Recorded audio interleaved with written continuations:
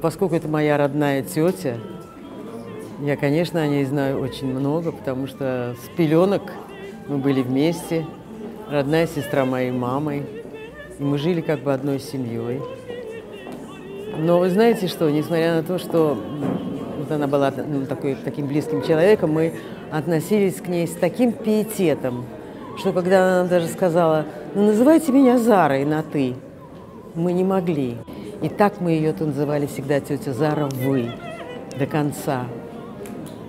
Она очень большую роль сыграла в нашей вокальной судьбе с сестрой и с братом потому что мы ходили к ней, консультировались, мы показывали новые произведения. Она делала нам те замечания, которые потом оказались абсолютно правильными и полезными для нашей работы дальнейшей.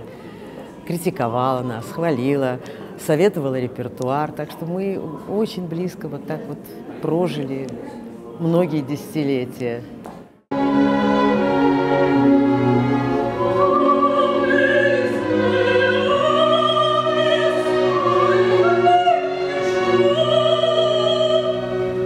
Зара Александровна для меня учитель, родной человек, человек, который подарил мне музыку, человек, который сопровождает меня, который подарил, меня, э, который подарил мне театр, в котором я служу много лет и который я обожаю.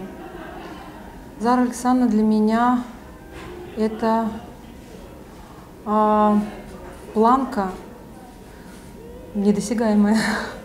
Но стараюсь, стараюсь, конечно, я соответствовать своему педагогу.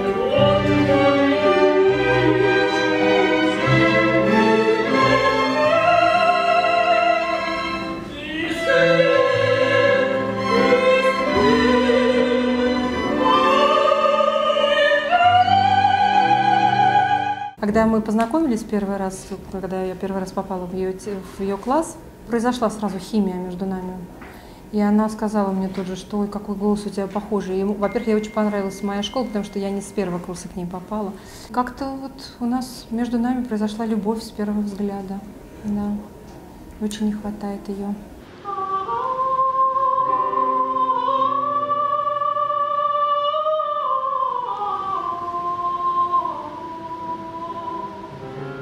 Сегодня историческое событие, столетие великой певицы Зары Александры Долухановой, олицетворение интеллигентности, олицетворение этики, культуры.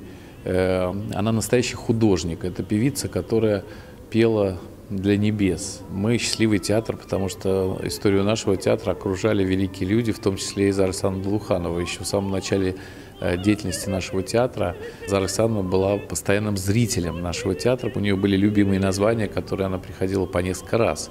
Сегодня у нас концерт ее одной из самых любимых учениц Марии Масхули, которая и сейчас э, царит на сцене и поет ведущий репертуар. Сегодняшний вечер, я думаю, имеет такую атмосферу э, очень теплую и очень домашнюю. И мне кажется, что и хотелось бы, чтобы ее духу здесь было хорошо.